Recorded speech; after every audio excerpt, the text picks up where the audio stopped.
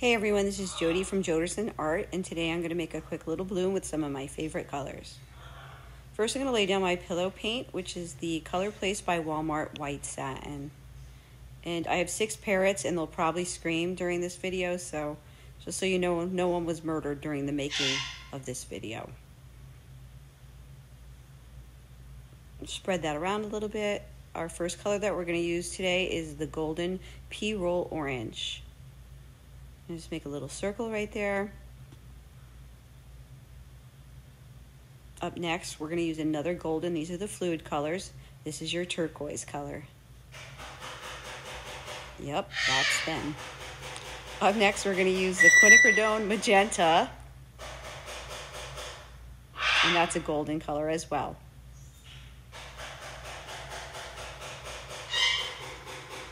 This is Colourarte Sunset Glow, and the reason why I'm splitting this in half is because I'm looking to get some colorful lacing.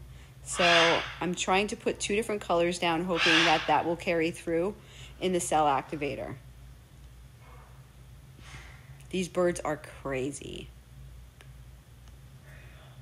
Up next, we're going to put the cell activator down, and that's our Amsterdam titanium white mixed with Australian Floetrol 3 to 1. Just trying to put that pillow back on there. And we're going to give this a quick little blow.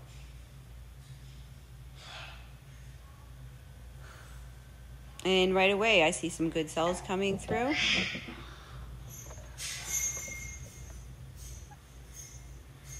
And if you guys are interested in making your own paint and learning about pouring medium, about two videos back, I did a tutorial and I showed all the products I use, and I think it's a relatively easy video to follow along.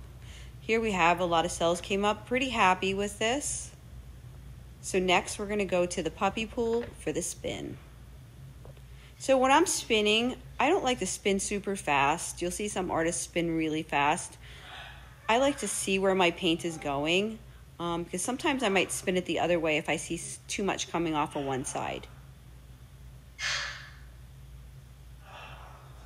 So I see some butterfly wings coming up on the right.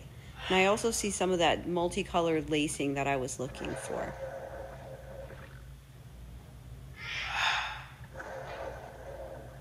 And here we go. I'm going to take a look at this. And yeah, I see some of that red and orange coming up on the lacing.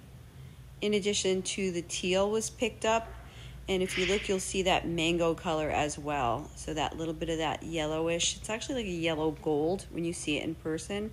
That came through in the lacing as well. So a lot of people ask me how I make the colorful lacing. Well, it's not that hard. That's how it's done. So I'm pretty satisfied with this. Bringing it up real close here. And uh, thanks for sitting through my my parrot chorus that I have. Um, Great little creatures. I love them a lot. So thanks for watching today. If you're interested in seeing more videos that, like this, please like and subscribe.